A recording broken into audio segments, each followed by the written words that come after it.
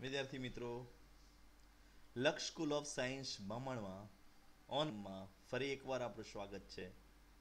આજે આપણે થોડીક સ્કૂલની યાદ કરીશું. ઘણા દિવસ થઈ ગયા સ્કૂલ જોઈ જોઈને આપણો ઓનલાઈન અભ્યાસ ચાલી રહ્યો છે. આપણી સ્કૂલની માટીની સુગંધને અહીં આપણે જોઈશું તો મજા આવી જાય. તો ચાલો સ્કૂલની ઝલક જોઈએ. આપણું સ્કૂલનું આ સિમ્બોલ આપણી આ સ્કૂલનું બાહ્ય દેખાવ કેટલો સુંદર છે. જો ભારત માતા સાથે. આ આપણું એન્ટરન્સ અહીંથી તમે અંદર સ્કૂલમાં વારંવાર જાઓ છો અને યાદ આવતી હશે બધી. કેટલું સુંદર અહીં લાગી રહ્યું છે. આ આપણે હોલમાં બેસીને પ્રાર્થના કરીએ છીએ, ભેગા થયા છે મિટિંગો, યાદ આવે છે કશું? આના શબ્દો. નિલેશભાઈને આપણા વાતો બધી. તો બધું મિસ કરી રહ્યા છે. તો થોડુંક આજે આપણે એને દિલથી યાદ કરી લઈએ એવી ઈચ્છા થઈ. જાત જાતની એક્ટિવિટીઓ આપણે કરીએ છીએ. આ બધું ખૂબ જ યાદ આવતું હશે. પ્રવાસો. હવે તો આ વર્ષે ભૂલી જવાનું છે આ બધું. રમતો. સ્કૂલને આ રીતે આપણે યાદ કરીએ અને પછી ભણીએ. તો મજા આવશે આપણે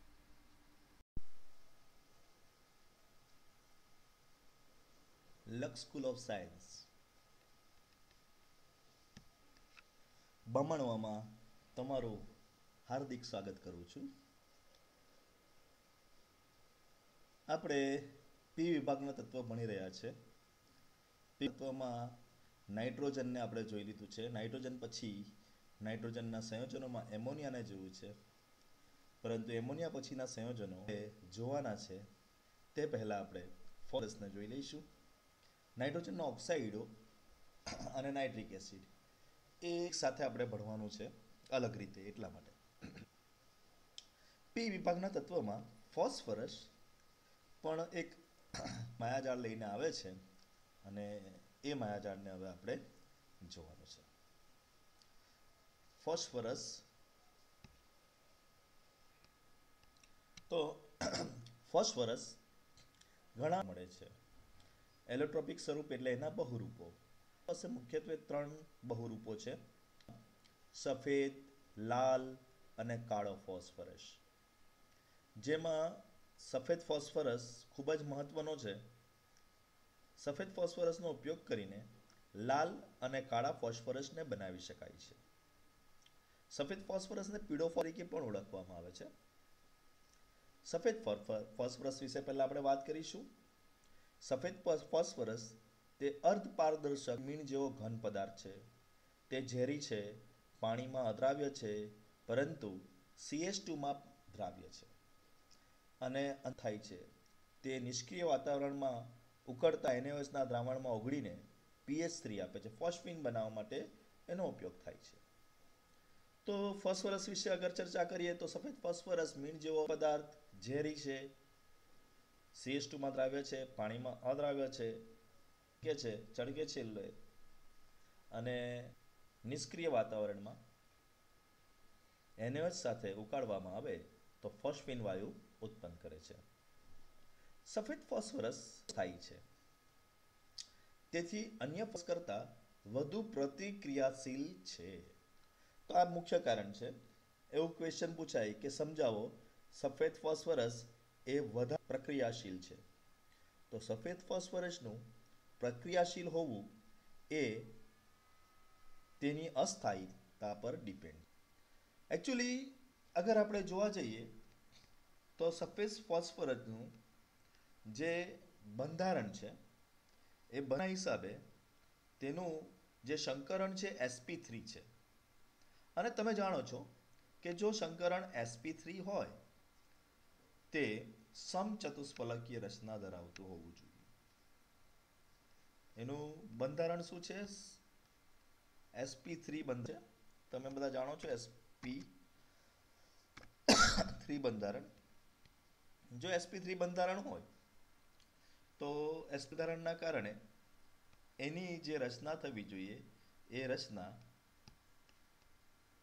માં સમચતુષ્ફલકીય સમચતુષ્ફલકીય આકાર રહેવો જોઈએ. હોય, તો તેનો ખૂણો કેટલો રહેવો જોઈએ કે સમચતુષ્ફલકીય આકાર વખતે છે. છતાં, અગર તમે ફોસ્ફરસને બરાબર રીતે જો તો એકસો આઠ નો હોવાના બદલે સાઠ ડિગ્રીનો છે. હવે તમે વિચારો, સંકરણ, સમચતુષ્ફલકીય રચના અને ખૂણો સાહીઠનો તો એનામાં કેટલો ઉભીર થઈ હશે? અને આ અરાજકતાના કારણે તે પરમાણુ પોતાના ખૂણા ઉપર તાણ અનુભવે છે. અને આના લીધે જ એ અસ્થિર છે. જો, તાણ કેમ ઉત્પન્ન થશે અહીંયા જોઈએ આપણે. આ બરાબર ધ્યાન આપો. આ આપણા પાસે નાનો ખૂણો છે. જોઈ શકાશે તમે કે આ નાનો ખૂણો છે. જેમ જેમ મોટો થતો જાય, તેમ તેમ એ સરળ બનતું જાય. પરંતુ ખૂણો હોય તો પડી જવાની આમ સંભાવના વધારે હોય. એટલે નાના ખૂણા હોવાના કારણે એના ઉપર તાણ વર્તે છે અને એના કારણે છે, અસ્થિર છે. એટલા માટે હવામાં ઝડપથી સળગી ઉઠે છે અને પી ફોર ઓ ટેનના સફેદ ધુમાડા આપે છે. પી ફોર વત્તા five O two that's give P four O ten તે આકૃતિમાં બતાવ્યા પ્રમાણે પી ફોર અણુ દર્શાવે છે. તો જોઈએ આકૃતિમાં શું બતાવ્યું છે? તો આ વ્હાઇટ ફોસ્ફરસની આકૃતિ અહીંયા આપણને રાખ્યું છે ઉપર કે અહીં એસપી થ્રી સંકરણ છે. એસપી થ્રી સંકરણના કારણે એ ચતુષ્ફલકીય અને એના કારણે એનો ખૂણો એકસો આઠનો રહેવો જોઈએ. એના બદલે ખૂણો આપણને ફક્ત સાઠ ડિગ્રી રહે છે અને એ સાઠ ડિગ્રીના ખૂણાના કારણે એ અસ્થિર છે. આ આકૃતિમાં આપણે એને જોયું કે આ રીતની એની રચના છે. હવે વાત કરીશું લાલ ફોસ્ફરસની. લાલ ફોસ્ફરસ તે ઘણા દિવસો સુધી નિષ્ક્રિય વાતાવરણમાં પાંચસો પાંચસો તો તાપમાને સફેદ ફોસ્ફરસ સાથે ગરમ કરીને મેળવવામાં આવે છે. ઓકે?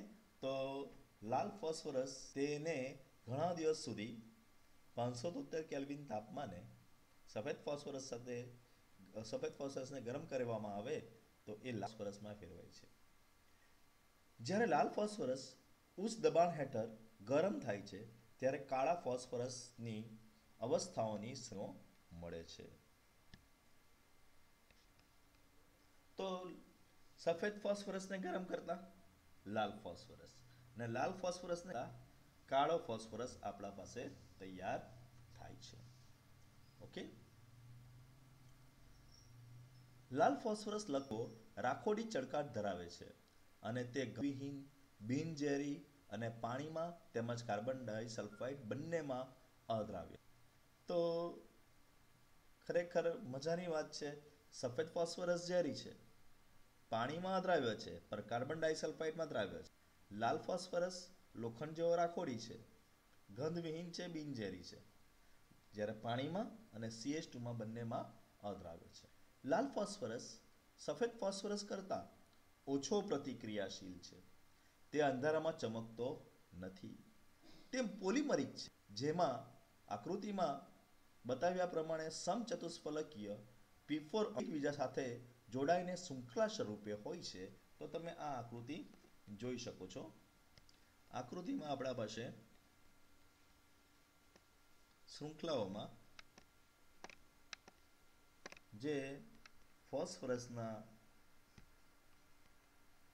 અણુઓ છે, એ જોડાયેલા છે. આ સમચતુષ્ફલકીય રચના ધરાવતું એક પહેલું બંધારણ. આ બંધારણ પછી એના બાજુમાં બીજા ફોસ્ફરસ સાથે જોડાયેલું હોય. અને આમ, આ ફોસ્ફરસની આખી આપણને એક શ્રેણી મળે. ઓકે? આ ફોસ્ફરસ લાલ ફોસ્ફરસ છે. ઓકે? તો લાલ આપણે બહુ બધું જાણી જાણી ચૂક્યા છે. તો સફેદ ફોસ્ફરસને પાંચસો તોતેર કેલ્વિન તાપમાને દિવસો સુધી ગરમ કરવામાં આવે તો તે લાલ ફોસ્ફરસમાં ફેરવાય. આ રીતે ફેરવાયેલા લાલ ફોસ્ફરસને ઉચ્ચ દબાણ હેઠળ ગરમ કરવામાં આવે તો તે કાળા ફોસ્ફરસમાં ફેરવાય છે. લાલ ફોસ્ફરસ લાલ નામ એટલા માટે છે કે એનો લોખંડ જે ચળકાટ છે. તે ગંધવિહીન છે, બિનઝેરી છે અને પાણીમાં તેમજ કાર્બન ડાયોક્સાઇડમાં અદ્રાવ્ય છે. લાલ ફોસ્ફરસ સફેદ ફોસ્ફરસ કરતાં સક્રિય છે. તે અંધારામાં ચમકતો નથી. તે પોલીમેરિક છે, એટલે કે આ રીતે છે, જે પોલીમર બનાવે છે. તો આ હતી આપણા પાસે સ્ટોરીઝ લાલ ફોસ્ફરસની. હવે લાલ ફોસ્ફરસની સ્ટોરી આપણે આગળ વધીએ અને એ સ્ટોરી છે હવે આપણા પાસે સફેદ કાળા ફોસ્ફરસ. કાળા ફોસ્ફરસ તેમાં બે સ્વરૂપો છે. એક આલ્ફા કાળો ફોસ્ફરસ અને બે બીટા કાળો ફોસ્ફરસ. તો કાળા ફોસ્ફરસ ઉપરૂપો છે અને એ ઉપરૂપોમાં આલ્ફા કાળો ફોસ્ફરસ અને બીટા કાળો ફોસ્ફરસ એમ બે ભાગ છે. લાને આઠસો ત્રણ કેલ્વિન તાપમાને બંધ નળીમાં ગરમ કરવામાં આવે છે ત્યારે આલ્ફા કાળો ફોસ્ફરસ બને છે. તે હવા ઉત્પાદિત કરી શકાય છે. એટલે કે તેનું ડાયરેક્ટ ઘન પદાર્થમાંથી વાયુ પદાર્થમાં તેને રૂપાંતરણ કરી શકાય છે. અને તે અપારદર્શક મોનોક્લિનિક અથવા તો રોમ્બોહેન્ડ્રલ સ્ફટિકો ધરાવે છે. પ્રશ્ન પાછા બે સ્વરૂપ છે. મોનોક્લિનિક સ્વરૂપ અને રોમ્બોહેડ્રલ સ્વરૂપ. તે હવામાં સફેદ ફોસ્ફરસના ઓક્સિડેશન પામતો નથી. સફેદ ફોસ્ફરસને ઉચ્ચ દબાણ હેઠળ અને ચારસો તોતેર કેલ્વિન તાપમાને ગરમ કરી બીટા કાળો ફોસ્ફરસ તૈયાર કરવામાં આવે છે. તે છસો તોતેર કેલ્વિન સુધી હવામાં બળતો નથી. તો સફેદ ફોસ્ફરસને ઉચ્ચ દબાણ હેઠળ અને ચારસો તેતેર કેલ્વિન તાપમાને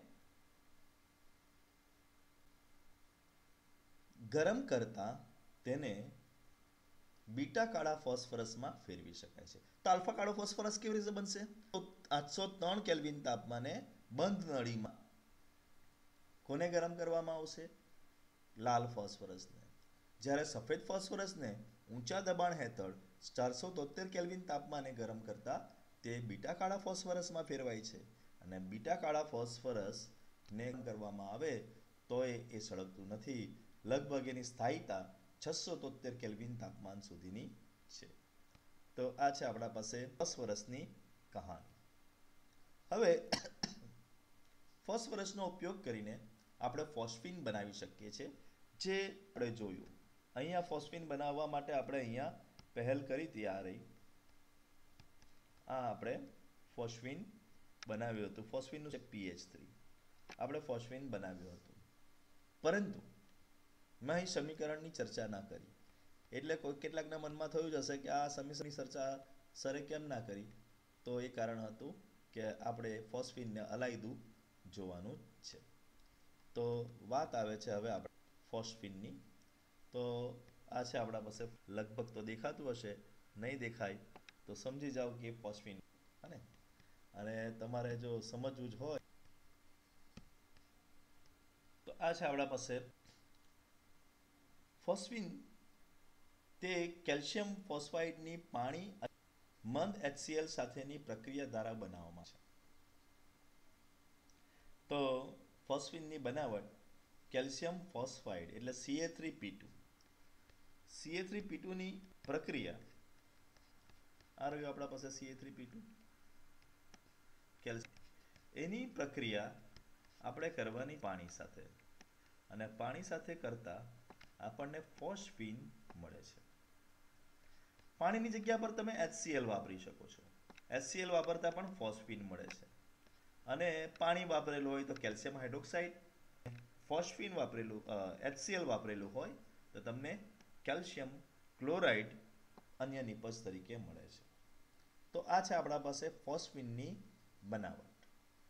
જનરલી ઉત્પાદન ફોસ્ફિનનું ઔદ્યોગિક રીતે આ રીતે કરવામાં આવે છે. પ્રયોગશાળામાં ડાયોક્સાઇડના નિષ્ક્રિય વાતાવરણમાં સાંદ્ર એનો સાથે સફેદ ફોસ્ફરસને ગરમ કરીને પણ બનાવી શકાય છે. પ્રયોગશાળામાં અગર આપણે એને બનાવવાનું છે, તો ખૂબ જ સહેલું છે. સીઓ ટુના નિષ્ક્રિય વાતાવરણમાં સાંદ્ર એનએચ સાથે સફેદ ફોસ્ફરસને ગરવામાં આવે તો એ બની શકે છે. ઓકે તો એ આપણું ત્યાંનું સમીકરણ હવે આવે છે કે પી ફોર થ્રી એનઓએચ જેન્સ ઓફ વોટર ફોસ્ફિન અને સોડિયમ હાઇપોફોસ્ફાઇટ બને છે. તો થ્રી એને H two PO two three આ આપણી પાસે નિપજો છે. તો P four plus three NOH plus three H two okay તો પીએચ થ્રી અને થ્રી એને એચ ટુ પીઓ ટુ આ સોડિયમ હાઇફોફોસ બને છે. તો આ નોંધ તમારે લેવાની છે. હવે એના ગુણધર્મ જોઈશું. કેસમાં તે અજ્વલનશીલ છે. પરંતુ પી ટુ એચ ફોર અથવા પી ફોર બાષ્પની હાજરીમાં તે જ્વલનશીલ બને છે. મતલબ અવસ્થા હોય ત્યાં સુધી એ મગજમારી કરતું નથી. અજ્વલનશીલ છે, સળગી જતું નથી. પરંતુ એને પી ટુ એચ ફોર અથવા પી ફોરની બાષ્પ મળી જાય તો તે સળગી ઉઠે છે. તેની અશુદ્ધિઓથી શુદ્ધ કરવા માટે તે એચઆઈમાં શોષણ કરવામાં એચઆઈમાં શોષાય છે. ફોસ્ફોનિયમ આયોડાઇડ પીએચ ફોર આઈની રચના કરે છે, જે કોઈ કેવાય સાથે પ્રક્રિયા કરવાથી સ્વિન ફરીથી બને છે. તો તેને કરવા માટે તેને પહેલા એચઆઈમાં શોધવા, શોષવામાં આવે છે એટલે પીએચ પોરાઈ બની જાય છે. પછી કેઓએચ સાથે પ્રક્રિયા એ આઈ છૂટું પડી જશે અને ફોસ્ફિન ફરીથી આપણને મળી જાય છે. ગુણધર્મમાં તે સડેલા માછલી જેવી ધરાવતો રંગવિહીન વાયુ છે. તે ખૂબ જ ઝેરી છે. તો ફોસ્ફિનનો ગુણધર્મ છે કે તે સડેલી માછલી ગંધ ધરાવે છે, રંગવિહીન છે અને તે ખૂબ જ ઝેરી છે. તે એચએનઓ સીએલ ટુ અને બીઆર ટુની વરાળ સાથે ઓક્સિડેશન કરતા પદાર્થોના સંપર્કમાં આવતા વિસ્ફોટ કરે છે. તો ફોસ્ફિનની આ વાત તમારે ધ્યાનમાં રાખવાની છે કે અગર તમે ભવિષ્યમાં ફોસ્ફિન છે, તો પહેલાં સમજો કે એ ઝેરી છે. એટલે ચોક્કસ કોઈ માર્ક્સ પહેરવો પડશે. અને અગર એના સાથે તમારે રમત રમવી હોય તો છે સીએલ ટુ છે કે પાણી બીઆર ટુની વરાળ છે, બાષ્પ એવા ઓક્સિડેશન કરતા પદાર્થોથી એને દૂર રાખવો જોઈએ. કારણ કે આવા પદાર્થો સાથે વિસ્ફોટ કરી બેસે છે. તે પાણીમાં થોડોક દ્રાવ છે. પાણીમાં પીએચસીનું દ્રાવણ પી અને એચ ટુ બનાવે છે. તો પીએચસીનું દ્રાવણનું જો વિયોજન કરવામાં આવે તો ફોસ્ફરસ અને હાઇડ્રોજનને છૂટા પાડે છે. તો પાણી દ્વારા એનું છે અને ફોસ્ફરસ અને હાઇડ્રોજનમાં છૂટું પડે છે. તો આ છે આપણા પાસે ફોસ્ફરસની દુનિયા કે જેની અંદર ફોસ્ફિનની દુનિયા અંદર આપણે આ ચર્ચા કરી. તો ફોસ્ફિન કેલ્શિયમ ફોસ્ફાઇડની પાણી અથવા મંદ એચસીએલની સાથેની પ્રક્રિયાથી બનાવી શકાય છે. પ્રયોગશાળામાં કાર્બન ડાયોક્સાઇડના નિષ્ક્રિય વાતાવરણમાં સાંદ્ર એનઓએચ સાથે ફોસ્ફરસને ગરમ કરતા, સફેદ ફોસ્ફરસને ગરમ કરતા ફોસ્ફિન બનાવાય છે. તે અવસ્થામાં અજ્વલનશીલ છે, પરંતુ પી ટુ એચ ફોર કે પી ફોરની બાષ્પના સંપર્કમાં આવતા તે સળગી ઉઠે છે. તેની અશુદ્ધિ દૂર કરવા માટે તેને સૌપ્રથમ એચઆઈમાં શોષવામાં આવે છે, પછી કેઓએચ સાથે પ્રક્રિયા કરાવીને ફરીથી પાછો શુદ્ધ અવસ્થામાં ફોસ્ફિન મેળવી શકાય છે. તે સડેલી માછલી જેવી ગંધ ધરાવતો રંગવિહીન વાયુ છે અને તે ખૂબ જ ઝેરી છે. તે એચએનઓ થ્રી સીએલ ટુ કે બીઆર ટુની બાષ્પ જેવા ઓક્સિડેશન કરતા પદાર્થોના સમાવતા વિસ્ફોટ કરી બેસે છે. તે પાણીમાં થોડું દ્રાવ્ય છે અને પાણીમાં દ્રાવ્ય થઈ અને એનું વિયોજન થાય છે અને ફોસ્ફરસ અને હાઇડ્રોજન બને છે.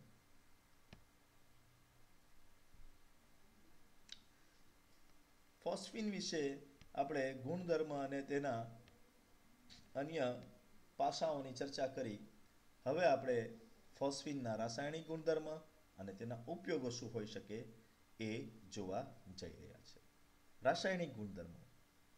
કોપર, સલ્ફેટ અને મર્ક્યુરી ક્લોરાઇડમાં શોષાઈને અનિવર્તી ફોસ્ફાઇડ આપે છે. તો કોપર, સલ્ફેટ અને મર્ક્યુરી ક્લોરાઇડ સાથે એ પ્રક્રિયા કરીને અનુવર્તી ફોસ્ફાઇડ આપે છે. એનો પરનું કોપર ફોસ્ફાઇડ આપશે અને મર્ક્યુરી સાથે મર્ક્યુરી ફોસ્ફાઇડ આપશે. તો એ પ્રક્રિયાને હવે આપણે જોવા જઈ રહ્યા છે. તમે જોઈ કે આ છે આપણા પાસે કોપર સલ્ફેટ.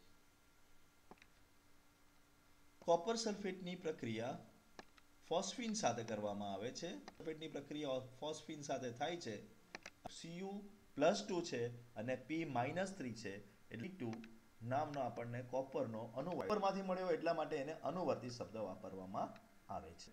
સલ્ફ્યુરિક એસિડ પણ બનાવે છે. તો સલ્ફ્યુરિક એસિડ પણ આ પ્રક્રિયાથી આપણે છે. તો પહેલું સમીકરણ છે. બીજા સમીકરણની અંદર મર્ક્યુરી ક્લોરાઇડ લેવામાં આવ્યું છે અને મર્ક્યુરી ક્લોરાઇડની ફોસ્ફિન સાથેની પ્રક્રિયાથી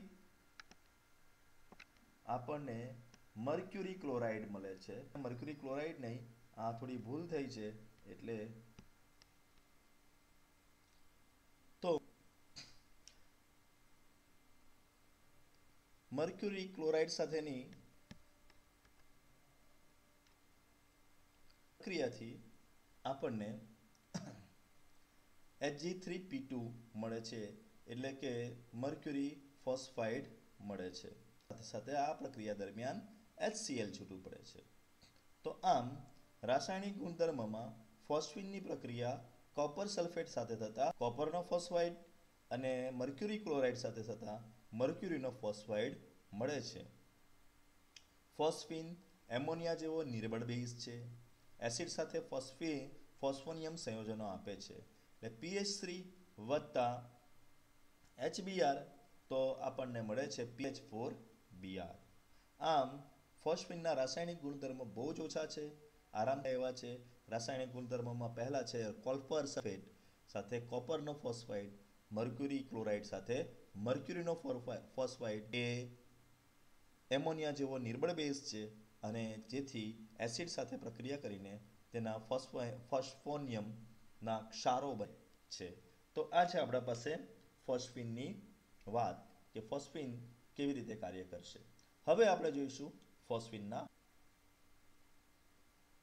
ના ઉપયોગમાં ફોસ્ફિનનું સ્વયંભૂ દહન તકનીકીને તકનીકી રીતે હોલ્મના સંકેતમાં વપરાય છે. હવે આ વસ્તુ હું સમજાવીશ. હોમ સિગ્નલ છે, એનું દહન તકનીક રીતે હોલ્મ્સના સંકેતમાં વપરાય છે શું કહેવા માંગે છે? તો ડિયર સ્ટુડન્ટ્સ આજના સમય, સમયની વાત નથી. પહેલાંના સમયમાં જ્યારે આપણા ભાઈ જાતના મોબાઈલ સંદેશા મોકલાવાના, ત્યારે અગર કોઈ વહાણ દરિયામાં ફસી જાય, તો દૂરના વહાણને સમજાવી કેવી રીતે શકે કે આ ફોસ્ફિનનો ટેકનિકલ હતો. કશું કરવાનું ના હોય. આપણે નારિયેળ આવે ને, એ નારિયેળ ગોળ નારિયેળ કેલ્શિયમ કાર્બોનાઇટના દડા બનાવેલા હોય. એ દડાની અંદર પહેલેથી શું નાખી દેવામાં આવે છે?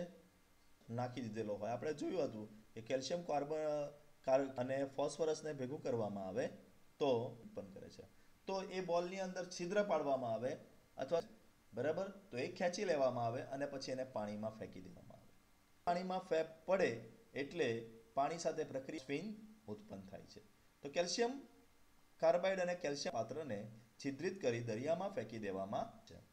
આ દરિયામાં ફેંકવાના કારણે તેમાંથી ફોસ્ફિન ઉત્પન્ન થાય છે અને પાણીના સંપર્કમાં આવતા તે સળગી ઉઠે છે.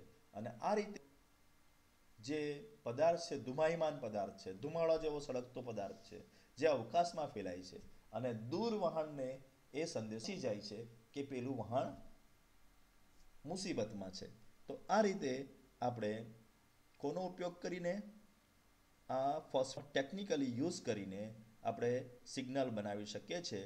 આવા સિગ્નલને હોર્ન ઓળખવામાં આવે છે. તો આ છે ફોસ્ફિનનો પહેલો ઉપયોગ. ફોસ્ફિનનો બીજો ઉપયોગ છે. તેને ધૂમ્ર પદાર્થ તરીકે પણ ઉપયોગ કરે તો તમે જોયું હશે કે જ્યારે સ્વર્ગનું દ્રશ્ય બતાવવામાં આવે છે, ત્યારે સ્વર્ગના દ્રશ્ય દરમિયાન તમે જુઓ છો પાછળથી ધુમાડો નીકળતો હોય છે. ધુમાડો ફોસ્ફિનના બનાવટથી કરવામાં આવે છે. તો આ છે આપણા પાસે ફોસ્ફિનની ફોસ્ફિન આમ ફોસ્ફરસના સંયોજનોમાં આપણે પહેલાં જોયું ફોસ્ફરસને, પછી ફોસ્ફિનને જોયું. હવે ફોસ્ફરસના સંયોજનોમાં બે પદાર્થો છે જેને પીએસ, પીસીએલ થ્રી અને પીસીએલ ફાઈવ તરીકે ઓળખવામાં આવે છે. આપણે તેને અહીં તફાવતના સંદર્ભમાં ચર્ચા કરીશું. તો પહેલે આપણા ડાબી બાજુ છે પીસીએલ થ્રી લખેલી અને જમણી બાજુ છે પીસીએલ ફાઈવની માહિતી આપી. પહેલા પીસીએલ થ્રીની બનાવટ. ગરમ કરેલા ફોસ્ફરસ પર શુષ્ક ક્લોરીન પસાર કરતા પીસીએલ થ્રી મળે છે. જુઓ સેમ જ છે. ગરમ કરેલા ફોસ્ફરસ પર વધુ માત્રામાં શુષ્ક ક્લોરીન પસાર કરતા પીસીએલ ફાઈવ મળે છે. તો ઓછી માત્રામાં પસાર કરીશું.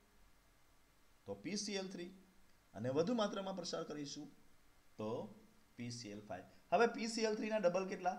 થ્રીના ડબલ સિક્સ તો તમે જોઈ શકો છો અહીંયા કે આ સમીકરણની અંદર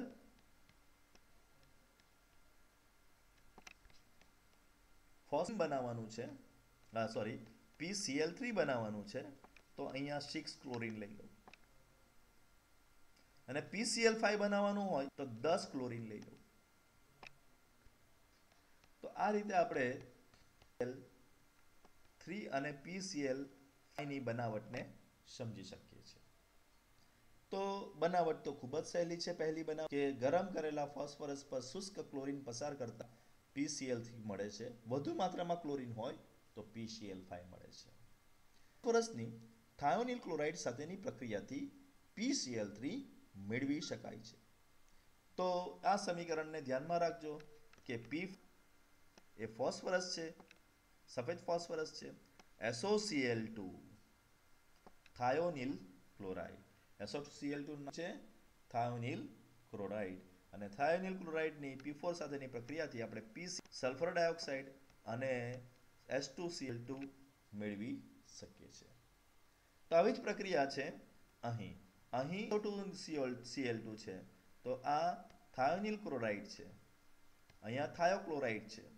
એસઓ ટુ સીએલ ટુ ને સફેદ ફોસ્ફેટ પ્રક્રિયા થતાં તે ફોસ્ફરસ પેન્ટાક્લોરાઇડમાં ફેરવાય છે. તો બંને બાજુ સરખું છે આપણા પાસે. પ્રક્રિયામાં એકમાં એસોસીએલ ટુ યાદ રાખવાનું છે અને વધારે હોય ત્યારે એસો ટુ સીએલ ટુ યાદ રાખવાનું છે. પેલામાં તો દસ જ છે, નામાં આ છે. ગુણધર્મ. પીસીએલ થ્રી નો ગુણધર્મ છે તે પ્રવાહી છે. ભેજના સંપર્કમાં એચ થ્રી પીઓ થ્રીમાં ફેરવાય છે. તેની વાત એકદમ સિમ્પલ છે, રંગવિહીન છે અને ભેજના એચ થ્રી પીઓ થ્રીમાં ફેરવાઈ જાય છે. ખૂબ જ સરળ છે. જ્યારે આના ગુણધર્મમાં તે પીળા રંગનો ઘન પદાર્થ છે, ભેજ સાથે પીઓસીએલ થ્રીમાં અને પછી એચ થ્રી પીઓ થ્રીમાં ફેરવાય છે. તો ભેજ સાથે પ્રક્રિયા કરીને પ્રથમ એ શામાં બને છે? પીઓસીએલ થ્રી બને છે. અને પછી એચ ફેરવાય છે. સખત ગરમ કરતા પતન પામે છે અને પીએલસીએલ થ્રી અને સીએલ ટુમાં એ ફેરવાઈ જાય છે. તો એને સખત ગરમ કરવામાં આવે તો એ ઉદ્દીપતન પામે છે અને ઉદ્દીપતન પામ્યા પછી એ સીએલ થ્રી અને સીએલ ટુ તો પીસીએલ ફોર ફાઈવને હીટ આપતા એને આપણે ગરમ કરવા આપવામાં આવે તો એ ગરમ થતા આપણને સામા તો એ આપણા પાસે ટુમાં રૂપાંતરણ પામે છે. તો આ વાત છે આપણા પાસે પીસીએલ થ્રી અને પીસીએલ ફાઈવ હવે આપણે ચર્ચા કરવા જઈ રહ્યા છે, ઓએચ સમૂહ ધરાવતા બધા જ કાર્બનિક સંયોજનોમાં એ સાથે સંયોજાઈને એસિડ ક્લોરાઇડ અને આલ્કાઇલ ક્લોરાઇડ બનાવે છે. તો આમાં પણ એનો થોડો ઘણો પ્રભાવ છે. તમે ભણી ચૂક્યા કે ઓર્ગેનિક કમ્પાઉન્ડમાં એ ઓએચ પાછળ ધરાવતા કોઈ પણ પદાર્થ સાથે પાછળ ઓએચ તો ઓએચ ધરાવતા કોઈ પણ પદાર્થ સાથે પીસીએલ થ્રી સંયોજાઈને એસિડ ક્લોરાઇડ અને હાઇપોફોસ્ફરિક એસિડ જો આલ્કોહોલ હોય, તો આલ્કોહોલ સાથે એ આલ્કાઇલ હેલાઇડ અને પીઓસીએલ થ્રી આપે છે. તો આ છે આપણા પાસે ખૂબ જ મહત્વના પીસીએલ થ્રી અને પીસીએલ ફાઈવ હવે તેમના સ્ટ્રક્ચર સ્ટ્રક્ચર વિશે આપણે ચર્ચા કરીશું. તો એના સ્ટ્રક્ચર છે પ્રમાણે તો ચલો તૈયાર થઈ જાઓ સ્ટ્રક્ચર જોવા માટે. તો structure of PCl three and PCl five ડાબી બાજુ પીસીએલ થ્રી છે અને જમણી બાજુ ફાઈવ છે. તો ત્રિકોણીય પિરામિડિક બંધારણ સ્ટ્રક્ચર છે એનું. ઓકે? થ્રી બંધકારક પી સીએલ ઇલેક્ટ્રોનમાં અને એક અબંધકારક છે. તો તમે જોઈ શકો છો. આરામથી આને જુઓ કે અહીં કારક આ બીજું બંધકારક અને આ ત્રીજું બંધકારક. તો ત્રણ બંધકારક ઇલેક્ટ્રોન યુગ્મ છે અને એક આ અબંધકારક ઇલેક્ટ્રોન યુગ્મ છે.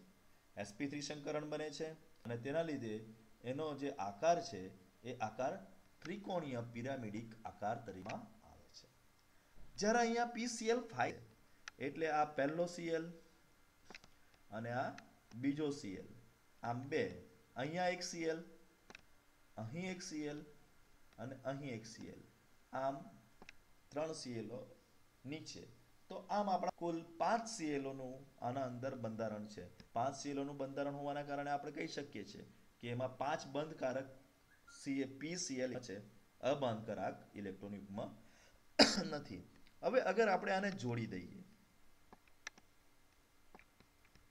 જોડવાથી એક આ બાજુ અને બીજો અહીં. હવે તમે એને વચ્ચેથી આને પણ જોડી દઈએ. તો આ આકાર તમને કેવો લાગે છે? અહીંયાથી બીજો એક અહીંયા જોડાયેલો હશે. આ આકારને ત્રિકોણીય પિરામિડિક આકાર તરીકે ઓળખવામાં છે. આ આકાર કેવો છે આપણા પાસે? ત્રિકોણીય પિરામિડિક આકાર છે. પણ ઉપર પણ પિરામિડ છે અને નીચે પણ પિરામિડ છે. એટલે હવે આપણે લખવાનું થશે કે ત્રિકોણીય દ્વિપિરામિડિક આકાર આપણને મળે છે. અહીંયા પાંચ છે એટલે શંકર પી થ્રી ડી. તો પી થ્રી અને એસ અને ડી એક એક, એમ કુલ પાંચ સંકરણ છે. તો એસપી થ્રી ડી સંકરણ આપણને કોનામાં જોવા મળે છે? પીસીએલ થ્રીમાં તો આટલું ભણી લીધા, પછી હવે તમારી જાતને પ્રશ્ન પૂછવાના છે. કાળા ફોસ્ફરસના સ્વરૂપ છે. ફોસ્ફરસ કયું એલોટોપ ઝેરી છે, આવડે છે? સફેદ ફોસ્ફરસ શા માટે પ્રતિક્રિયાશીલ છે, આવડે છે? જોઈ લીધું. કઈ રીતે સાબિત કરી શકાય કે પ્રકૃતિમાં પીએચ બેઝિક છે? થ્રી એસિડ સાથે પ્રક્રિયા કરીને ક્ષારો બનાવે છે. તેથી આપણે કહી શકીએ કે નિર્બળ બેઝ છે. પીએચ ફોર પ્લસમાં બોન્ડ એંગલ પીએચ થ્રી કરતાં વધારે છે કેમ? તો પીએચ ફોર પીએચ થ્રી જ્યારે બને છે એસપી થ્રી સંકરણ છે, જ્યારે પીએચ ફોરમાં એ સંકરણ બદલાઈ જાય છે માટે. જ્યારે પીએચ થ્રી એસિડ સાથે પ્રતિક્રિયા આપે છે, ત્યારે શું રચાય છે?